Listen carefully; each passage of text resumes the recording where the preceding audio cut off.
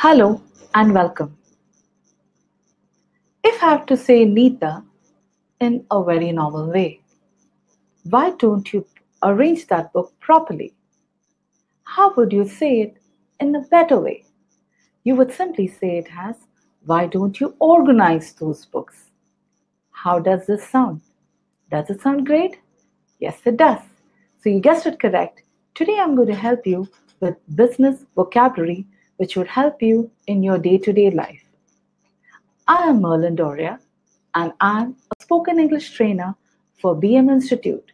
So, here are some vocabularies which will help you in your corporate world. So, stay tuned till the end because I have some exciting offers for you. Right? So, let's get started with few examples versus regular English versus business English. Right? So, where do you think this business vocabulary is going to help you, right? So when you're in a meeting or during interviews, you will use business vocabulary and your boss will be really impressed. Let's move on to the next then. Where are you going to use it? While doing presentations, right? Business vocabulary will really help you. Next, where are you going to use it? The next one, on a conference call right? So when you are in a call with your clients, that's when you use business vocabulary and your client will really good about you, right? So the next one I have for you is when you're drafting mails, right? And when you're on sending reports, that's when you'll use business vocabulary. So the next time when you will be drafting mails and sending reports, I'm sure that you're going to learn few things and definitely implement that in your day to day career, right? So, the next one I have for you is why when you're speaking with your colleagues in a corporate world. So, that's where business vocabulary would help you. So, here are some examples which would actually help you regular English versus business English. So, let's get started. Now, I have got your mail. How would you say it in business English in a better way? You would simply say it as I received your mail. Does it sound good? Yes, it does. Let's move on to the next then. The next one I have for you need, I need some help. How would you say it in business vocabulary? You would say it as, I require some assistance. That really sounds good, isn't it? Yes. Let's move on to the next then. The next one I have for you is, let's talk about it later.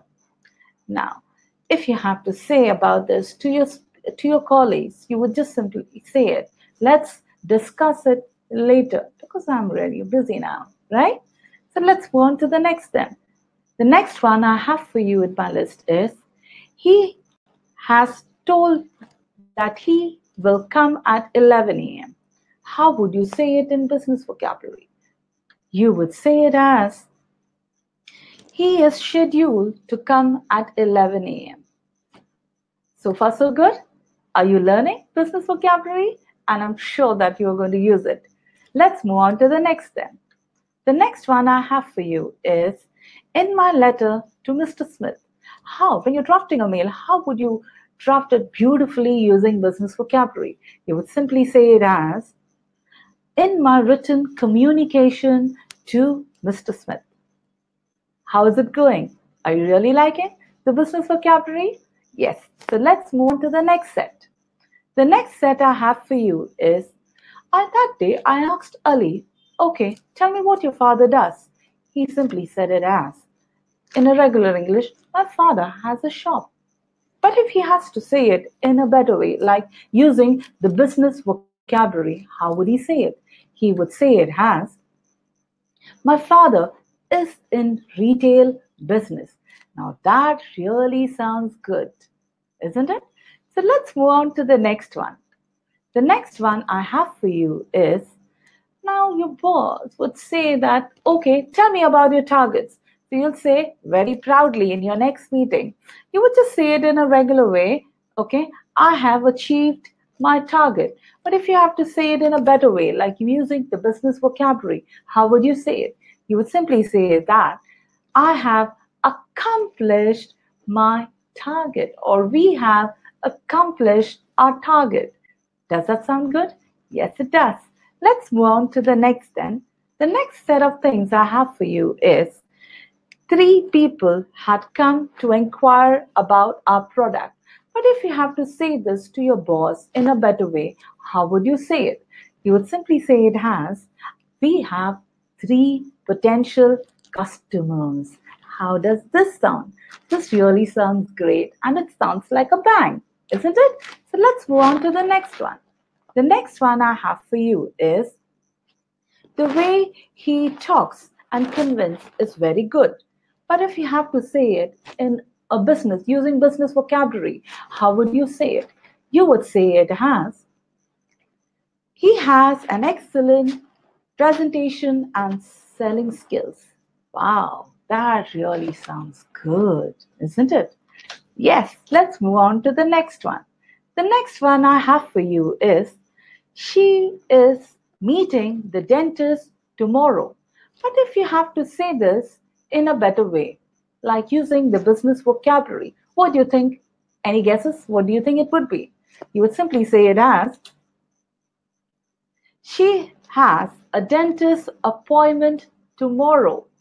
Wow, that really sounds great, isn't it? Now, the next one I have in my list is for you is the next set of regular English versus spoken English. And for now, I know that you're going to jot this down and really start using in your next conference call when you're interacting with your clients or with your colleagues or when you're interacting with your boss. I'm sure you're definitely going to use it, isn't it? So let's get started with the next set. The next set I have for you versus regular and business English is that our boss will really say, why don't you get some more work? But if you have to, but he has to say it in a business English, what do you think he would say it? He would simply say it has, let's generate more business. Wow, this really sounds good, isn't it? Wow, let's move on to the next then.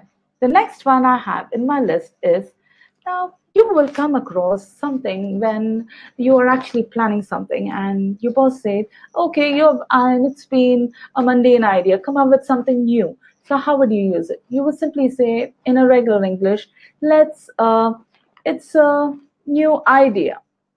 Use a new idea. But if you have to say it in a business English, how would you say it? You would simply say it has, let's implement new strategy right? This sounds really good, right? So the next one I have for you in my list is now your boss has given you, um, has told you to arrange a party, but he's given you a minimum budget, right? And you have to really start working on it in a really small expense. So in a regular English, you would simply say that to spend as little as possible. But if you have to say it in a business English, what do you think it would be? You would simply say it has, let's minimize our expense. How does this sound? Yes? Are you liking it? Are you learning more vocabularies? Business vocabularies? Let's move on to the next then. The next one I have for you is now there is a learner and he is actually not talking more on that particular topic. So he would say in a regular way, in a regular way, we would just simply say it as, let's talk more about this topic. But what I say when I am speaking to my one of my learner, I would just say, why don't you elaborate on this topic? And that really sounds good, right? Yes. So let's, these are the few things which I have got for you. And that is the next step so we teach in BM, we teach business vocabulary and we take business um, training. So here are some students who are really very attentive and listening to the trainer and understanding what's going on, right? The next one I have for you is for all those managers. Now, the manager's job is really very tough because he has to balance the life between being a strict boss and being a friendly boss. Really? Right. So here are for all those managers to keep your employees on your toes, to get them encouraged and get them motivated. So the first word I have for you is awesome. Awesome really means fantastic, and that is fabulous. So that's when you use awesome, right? That's when encouragement, when you are developing some uh, when you're saying that's fantastic job, that's when you say awesome. The next list I have for you is radical. What do you think radical would be? Now you'll think in your mind, ma'am, what is radical? So radical it's now if you're on a conference call and you're actually um, there is a brainstorming session going on, and one of the new uh, young executive really comes up with a brilliant idea, something which is out of the box, how would you say? You would simply say, wow, that was something out of the box. That's something radical. That's when you use radical, right? Yes. So that's the word power for radical. Let's move on to the next one. The next one I have for you is really very grand and magnificent. So that's stupendous now, one of your uh, co-worker really does really, really good job, and you have to say, and you have to appreciate and motivate him. You would simply say that you have done a stupendous job on this sales career. You are doing good, right? So the next one I have for you is ingenious. Now, you think ingenious? Ingenious is a word derived from genius itself. Right. Now you are in a meeting and one of uh, your coworker comes up with a really clever thinking, you know, uh, something really very innovative. So that's when you will use ingenious.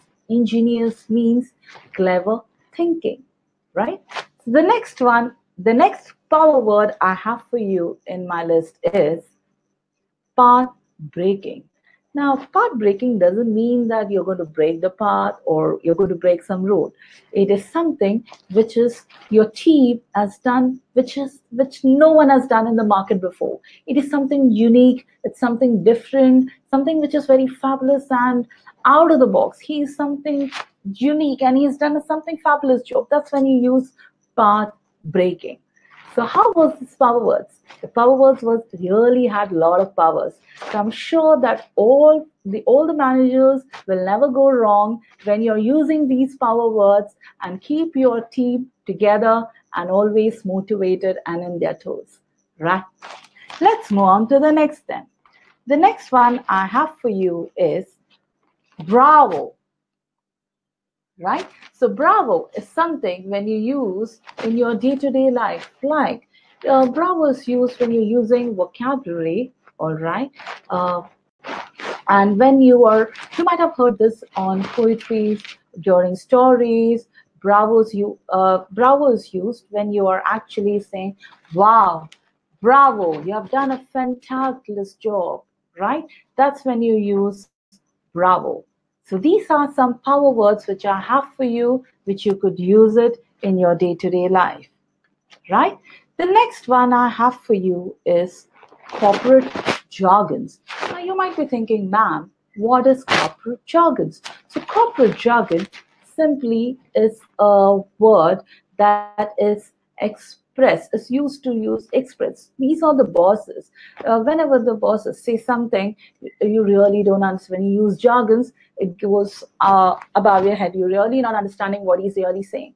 So here are some uh, day-to-day use. These are some use which is commonly used. It's a mundane one which you can use it in your day-to-day life right? So the first one i have for you in my list is are you on the same page? That means I'm really asking. Now there is a discussion which is going on, and uh, one of the co-worker, okay, and he says, "Why don't we do it this way? Let's do it in this way." The boss is going to question them this way. He would say, "Are you on the same page? Are you agreeing to what I say?" Right. So that's an agreement. What we do, right? That's when you say, "Are you on the same page?" Let's move on to the next then. The next one I have for you is ball park figure. Now you would think, ma'am, what is ballpark figure? Ballpark figure is something which is an approximate figure. Like you have got a target. Your boss gives you a target and you have to achieve that in your career. So in that particular month, you have achieved somewhere around 70 to 80%, but you're not sure that what is approximate. So you give an approximate figure.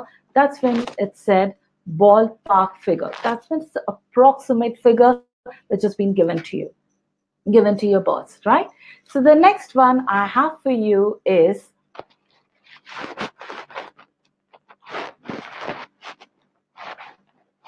bandwidth.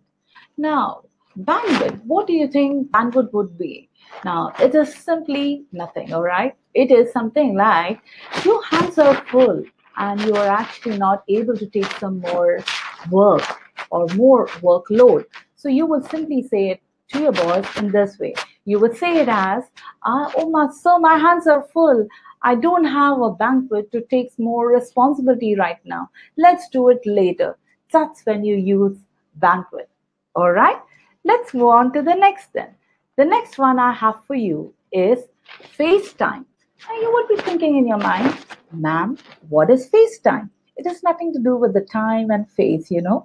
So FaceTime simply means that your uh, one of your client would like to meet a CEO or some uh, in your hierarchy, your manager, right, face to face.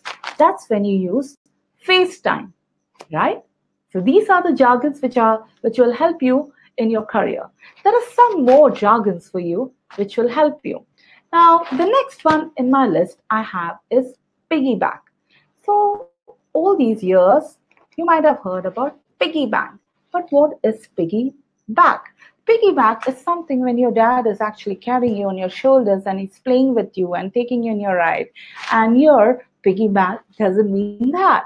Piggyback in corporate jargon, which you can use in like corporate vocabulary, it means that you overheard one of your co-workers' idea and it was really very good. And what you did, you stole that idea and presented to your boss. And your boss was really impressed. So you left without giving any credit to your friend and you took all the credit. So that's when you use piggyback. So never piggyback. It's a bad idea. All right. So the next one in my list I have for you is circle back. So you might be thinking in your mind, what is circle back? Now, circle back doesn't have to do anything in circle, but it is something to do. It's like, I'm very busy. Can you call me later? That's when you use circle back, right? So the next one in my list I have for you is seamless. Let me give you an example there is a director and there is a heroine okay and he gives you he asks you to do uh he asks to give a shot and she does that. And he, she does it in one so we use seamless. So you'll say wow that was a seamless performance. So that's something that's seamless. One issue is phone tag is something related to phone itself. Now, where, how to use it? When do you use it? And what does that mean? Okay, this corporate jargon will help you uh, for this situation that you are calling your client. Okay, and I'm not able to reach him. So the call goes on voicemail right? Then what the client does? The client tries to give you a call back and I'm not at my desk. So he again, uh, that call is being sent on voicemail. So this process goes on and on and on, right? But in the end, in the evening, they all get in touch and they say, you know, we were playing phone tag for you right from the morning. so that's when you use phone tag. Isn't it going so far so good? So now these were corporate jargons. Now I have something for you for the list. The last one I have for you is business quiz. And I'm sure by all this time, you might have learned a lot of vocabulary, and I'm sure that you're going to use it in your day to day life, isn't it? Yes. So the first question, let me see how intelligent my learners are, right? So let's start with the first one. What does it mean to generate more sale? So the options for you are sell more, identify more, or earn more. What would be the correct answer? Let's check. Let's keep it till the end, right? The next one I have for you in my list is before you can solve a problem, you need to dash it, what it is. The options for you are motivate, identify, and generate. What do you think the answer would be? let's give you let's give let me give you the answer in the end okay let's go on to the third question third one i have for you is what can you not resolve is that a problem an issue or a business? Right? Let's move on to the next then. The next one i have for you is if you dash one step at a time you will make progress. What do you say? Any guesses? So the options for you are implement, resolve, or focus. So here are the answers for all your questions, right? The first one would be sell more. The second would be identify. The third would be a business. And the fourth answer is focus. And I'm sure all my learners have got the right answers. So this is all for you from, from business vocabulary. And I'm sure there are special discounts and offers of 2,500 discount on any course. Learn English online in the course institute and the course offered a basic English course, advanced English speaking course, business English course, and IELTS course and train the trainer course. Okay, so these are the courses which we offer. Okay, and you will get discount of 2,500. Don't you feel it's nice? Yes. Thank you so much. And you're being a, such a good audience. Thank you. Thanks a lot. Bye.